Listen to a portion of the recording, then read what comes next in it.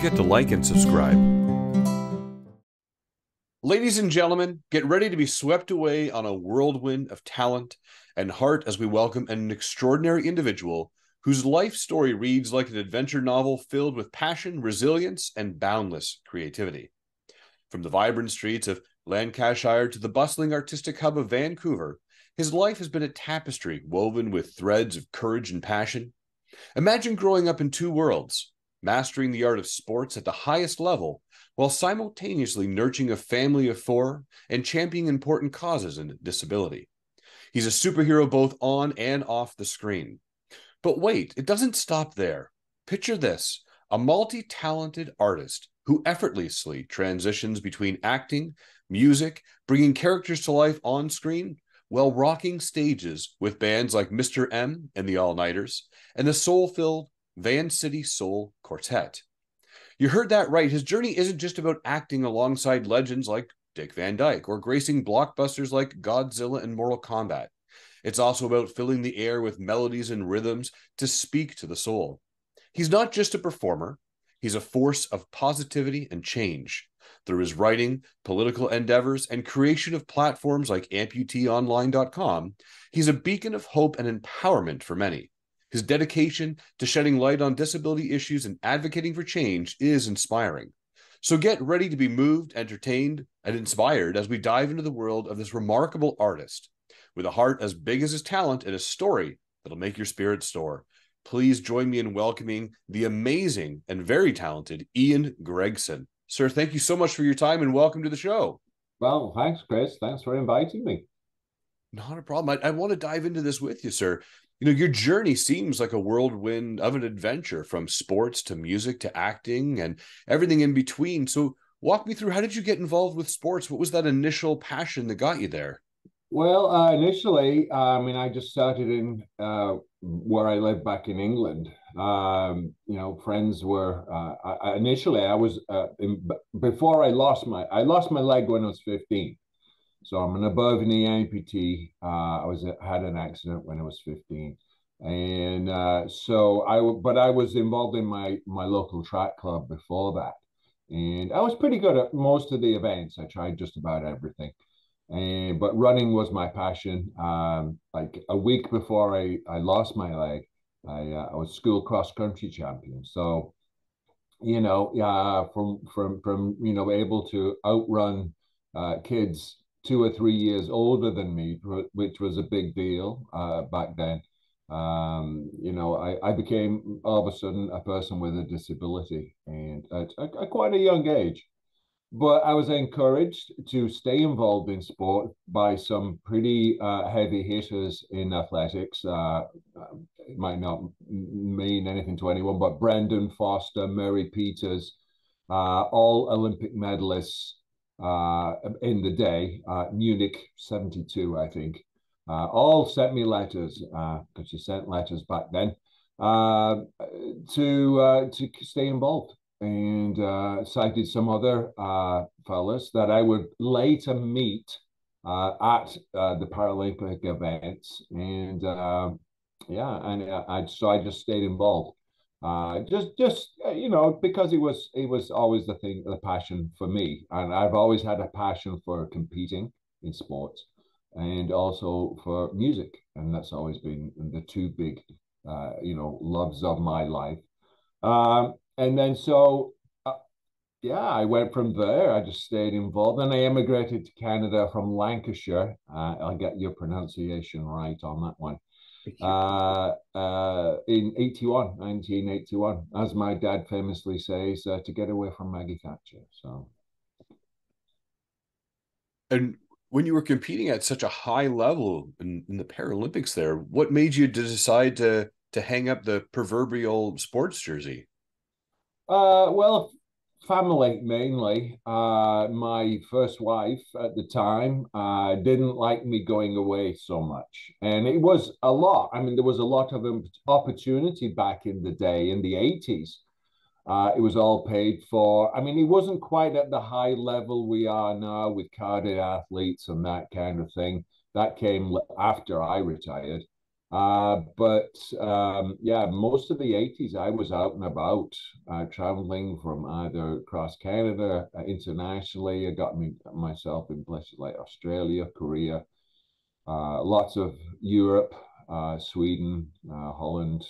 you know, just just getting out and about, and I was very fortunate at that time that um, you know I could do that.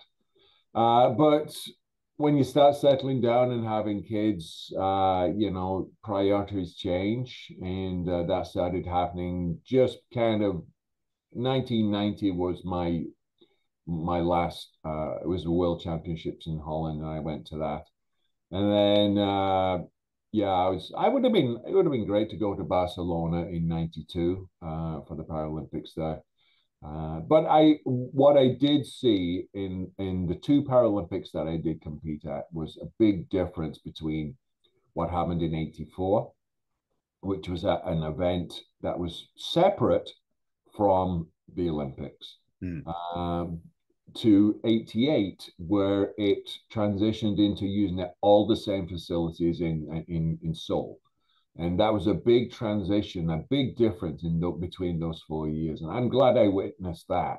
And uh, and subsequently, that's been how it's been run since, uh, for good and sometimes not so good. So. So it was all in the betterment that between 84 and 88 when they did this merger that it actually turned out to be the better the, the better ultimate goal for everybody. Uh, facilities wise, I, I think definitely. I mean, I mean, why why you know, duplicate these things. Um, and you know, it was the first time in a big Olympic stadium. I mean, I was in, I went into the stadium in Seoul, Korea. It was compared to kind of more of a, a regular track meet uh, that was at the International Games in New York in '84, which was it wasn't officially called the Paralympics at that point. Um, it was it, it was night and day. It was like we go into a real. You felt that Olympic spirit yeah. And uh, and subsequently, you know, the, the I think pretty well. I, I, did go to the Atlanta Paralympics in '96 as a spectator and uh, uh, as media, and uh, yeah, it was the same. It was the same vibe. It was like so. I know, you know, they've moved on, and uh, uh, yeah, it, it, it was a, a good thing to witness at the time. So you you guys uh, immigrated over in the the 80s, getting away from Maggie Thatcher, as you had put it with your father, and then you kind of started this wonderful journey when we were looking at the Mr. M and the and the all nighters, and then Soulful Van City Soul Quartet. Right. How did you come up with these? Like, what was that passion? Well, yeah, that that came from, as I mentioned earlier, I, am always always been involved in music. I, I, you can see I have a, still have a vinyl collection behind me. And uh, so I just always, uh, I, I started hanging out with a bunch of friends who weren't athletic, uh, but loved music. And so they all played guitars and bass and drums. So basically, even though I at the time didn't really play an instrument, uh, I was the fifth guy in the band kind of thing. So I did sound, I gave my opinions, blah, blah, blah. I just hung out with them. And uh, that band turned into uh, what we call in England a working men's clubs uh, band. So it, we, we it's a cover band. We play local, you know, uh, uh, conservative clubs, labor clubs, social clubs, that kind of thing. Um, and so that was before I came to Canada. So basically, the last two years before I came to Canada, we were driving around in the back of a Ford Transit van all over the north of England, you know, uh, five, 18 year old, 19 year old guys. I mean, you, you can't beat that. So, uh, you know, uh, I would never do that now, but it, uh, it, it was an experience and it, it, it gave me, uh, I did sound. Uh, uh, I've always done sound uh, as, as a sound tech and for bands. And uh, so I was happy with that loading gear and all that kind of stuff. And a few other experiences with professional bands that I really enjoyed. I came to Canada in 81 and it was it was a whole different thing. Uh, you know, you you you try to find your feet, you find even you've come to a city that you don't know. Uh, you, you the first real experience I had uh, was with Rod Stewart of all people and uh, he was playing at the Coliseum here in Vancouver. And I thought, well, I'm not. I'm having a hard time contacting people and getting up with bands. I did try going out with one band. It just didn't feel right. Mm. Um, so I went to Rod Stewart, and uh, I, I, didn't realize at the time that all those big venues are all union, and I just didn't get the concept of that. You know, and they basically threw me out, and, and I just said, you know, we don't want you here. Uh, you you can't do anything. You, you're not in the union. And so I was kind of puzzled. So anyway, I, I ended up being involved with uh, the radio station, the student radio station up at SFU. And uh, I was involved in that for over like eight years. So I, at that time, I wasn't really, I still, I've been playing guitar since I was 15. But it was only on uh, in 2000 that I actually said, well, you know, I've been playing this thing for years. Mm-hmm. I got to do something with it, either sell it or do something. And uh, a few years later, I got involved with a local uh, street band called the Carnival Band, and I played guitar with them uh, for about two years and kind of did a, a, a, musical apprenticeship. And that's how Mr. M and the All Nighters started. And uh, because they had a lot, a street band has a lot of horn sections. So, uh, so I was able to have a full horn section uh, uh, guitar, bass, drums, uh, and a female singer. But I needed something that was different than the regular tribute bands. And I, I looked at myself and I thought, well, what do I have? What do I know? And uh, in, in 2002, I'd gone back to England for a school reunion. And I met up with a fellow there. Uh, we hired a DJ for the reunion, and his, his name was Russ Winstanley. and Russ Winstanley is the guy who basically started Wigan Casino. Now, for people who are, are, are hearing this, Wigan Casino was a big scene uh, from about just celebrating their 50th anniversary, actually. Yeah. From from 73 onwards, uh, it was an old Victorian music hall, essentially. And but what Russ started was this appreciation of rare and kind of unheard of soul, uh, up tempo soul.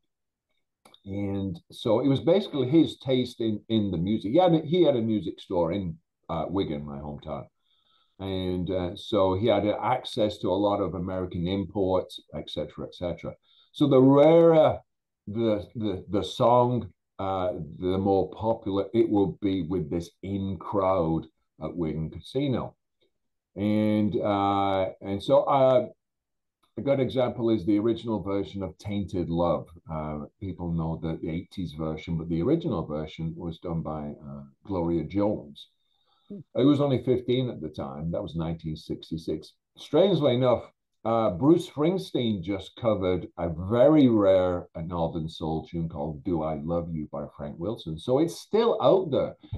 And so I came back and I thought, well, what? How, how am I going to do this musically for me? And that's what I wanted to do a tribute band to this Northern Soul.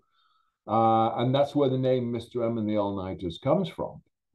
So Mr. M was the manager, and it was the, a side room of the Wigan Casino. The All Nighters is a uh, what they call the event. It was the Wigan Casino All Nighters. Mm-hmm. And that basically started about uh, 11, uh, 12 midnight and went till 8 a.m. And and, uh, and so that's Mr. M and the All Nighters. So and essentially, we were a, a Northern Soul tribute band.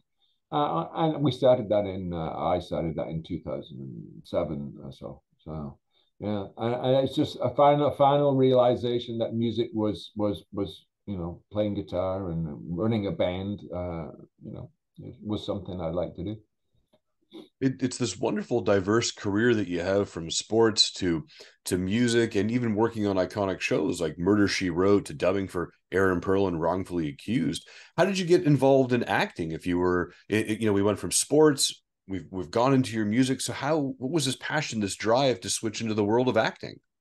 Uh, well I, how how did I, I I think what happened uh, because I was involved in sports uh, and even though I was not competing internationally. I was still kind of competing in, in, in powerlifting locally. So I just said, you know, I would go locally Uh, and so uh, the, I, I think through one of the my prosthetic shop uh, where I get my prosthetic leg repaired and whatnot, um, they were looking. Some show was looking for amputees for a hospital scene at uh, Eagle Ridge Hospital here in uh, in, in uh, Port Moody.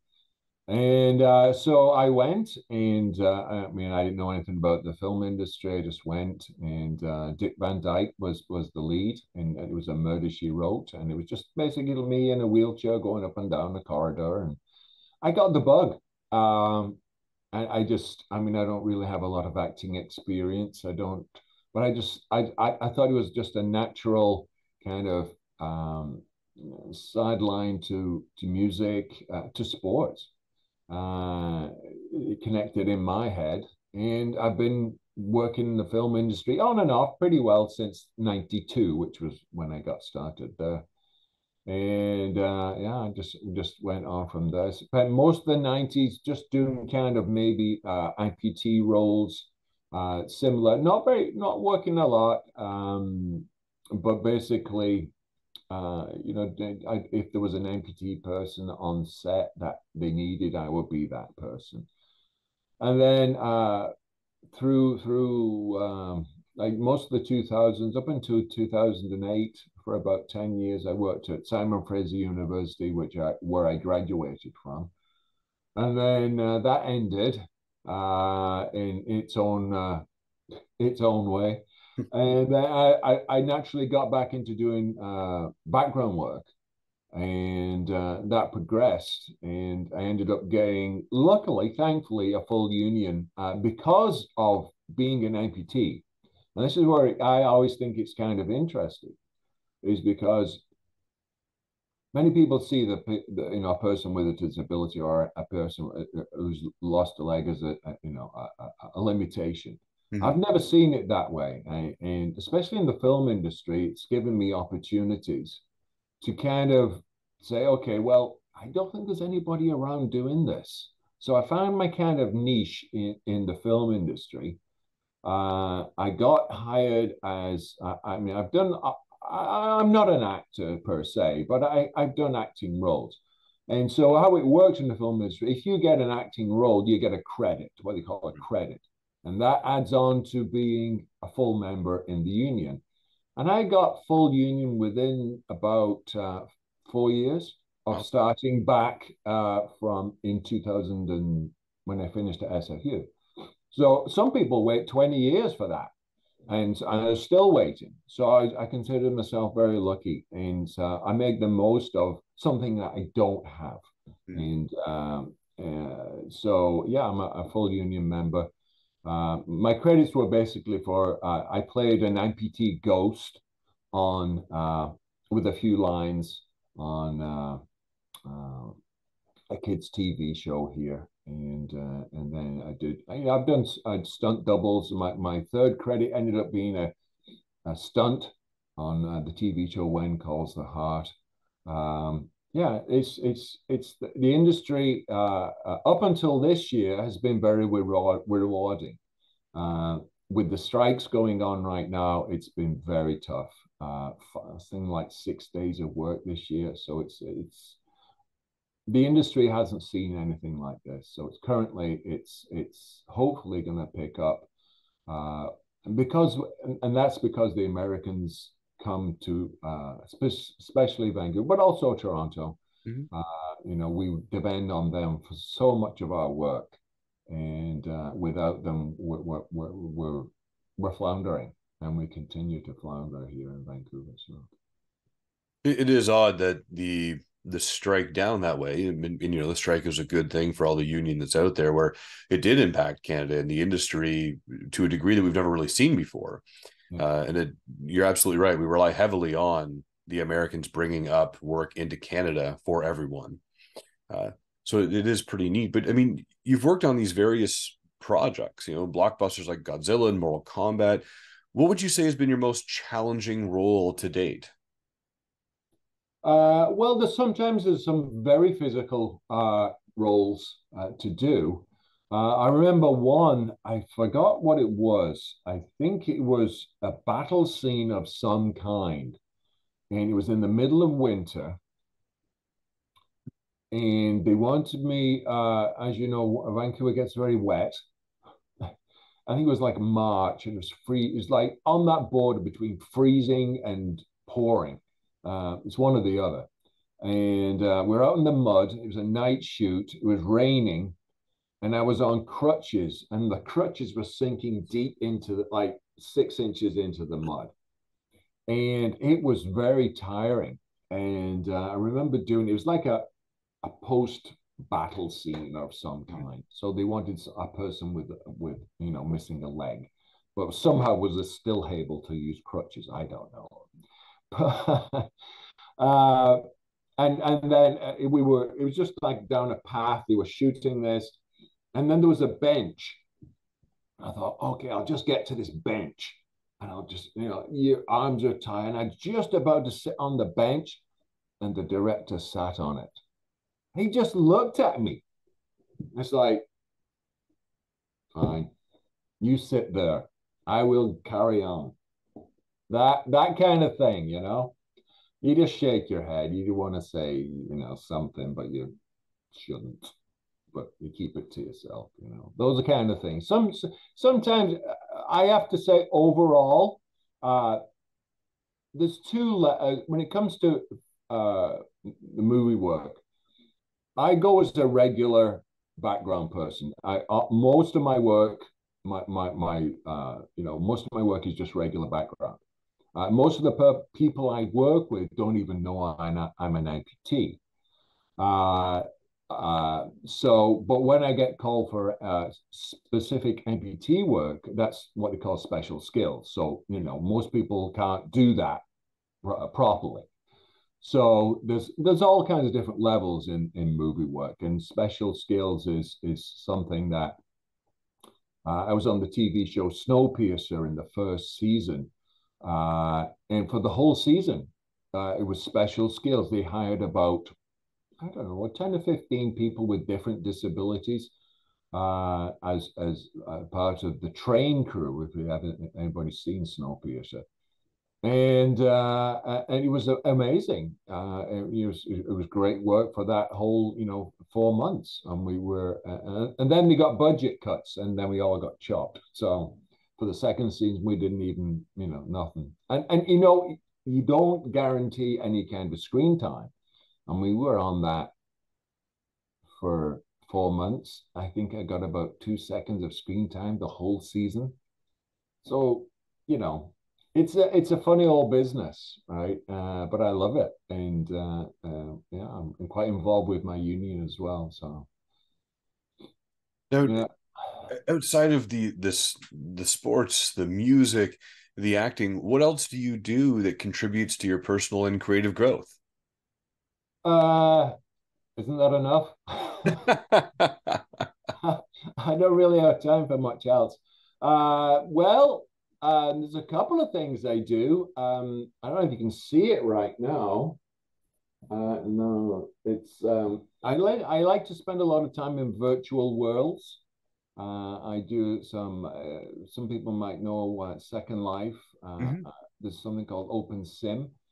Uh, um, I have an avatar. Uh, I DJ there. I, I host some land in there, uh, and I play. I, I, I stream the music off my computer, which I'm talking on right now, and um, you know I basically uh, play to my backing tracks that I've recorded uh, in Logic on my computer here and just you know drop out the guitar and the vocals and I'd sing right here in my house and I get paid for it. So uh, I actually get paid more than playing live here in Vancouver. So so and that's the other thing too is with the movie industry kind of tanking right now that I have actually started up Mr. M and the All Nighters after we were been out of it for about 2015. I found that what happened was I was so busy in the movie industry uh, scheduling gigs and rehearsing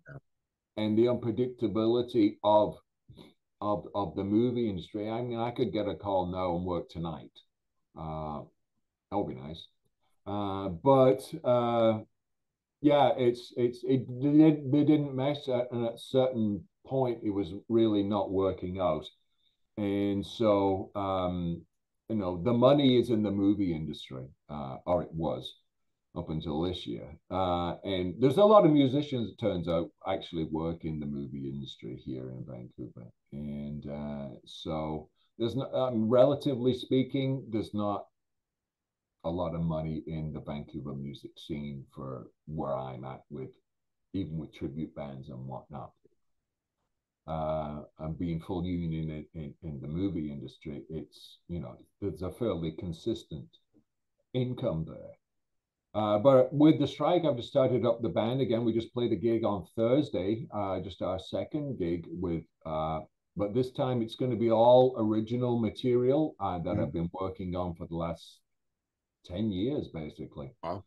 And so that's taken me on a different track. It's not a tribute. I'm still using the name, um, um, but I think um, going out with original material is very different. It's much more personal and uh, it's very different than doing other people's music. So yeah, uh, yeah, with music, uh, you know, um, working in the film industry, and basically I hang out as an avatar on my on, on my PC, and and and that's about it. Uh, a lot of people say I spend too much time on Facebook, and that's another addiction that I have. So mm.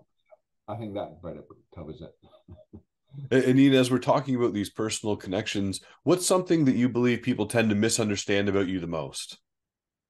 Uh, a, a, a few things. Um, a lot of people think I'm I'm a grumpy old man. I don't know why. Do I look like one? I don't know. Maybe I do. Maybe I sound like one. Um, no, it just it, it's hard to say. Um, I I I, I think um, just from my, you know, I've been living in Canada forty years, and I still find people seeing me as a foreigner. Hmm.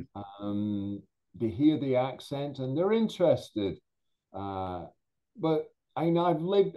I, with some expertise, I can say Vancouver is not the most friendliest place in the world. Uh, and you know, I've been here long enough. I think I qualify to say that. That's... And I find a lot of uh, people who agree. Um, the people who are born and raised here uh, don't quite get it. Um, but I find that um, making friends has been tough in this. I mean, I still talk to friends that are back in England. I'm very well connected with the people back in England, even though I've not lived there for 40 years. I've been back quite a few times. Mm-hmm. I was back last in 20, 2018. But uh, yeah, it's been tough. And it's always been on that. I know. I think people just have this kind of impression of me of, of something that I'm not. And uh, and that's that's the challenging because you know I, I think I'm a fairly friendly person. So yeah. And and sir, I have time for one last question for you today, and I really appreciate your time. What's uh what makes Ian Gregson smile?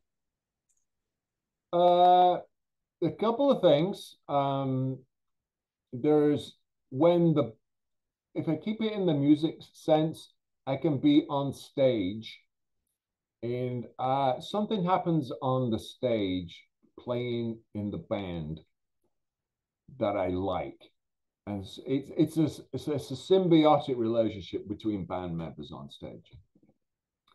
And when things go well and there's a, some magic happens on stage, that makes me smile. Uh, it's it doesn't happen a lot, uh, but it can happen between. Uh, in this case, there's four of us right now, uh, but there's been a few instances over over the years where something happens on it's hard to put your finger on what it is but it's like a, a, a, connection between the band members and i feel it and that makes me smile. Very well said. Sir as i said that was the the last question i had for you today. Thank you so much for joining me today. Everyone out there the amazing ian gregson make sure you google him when you get the opportunity.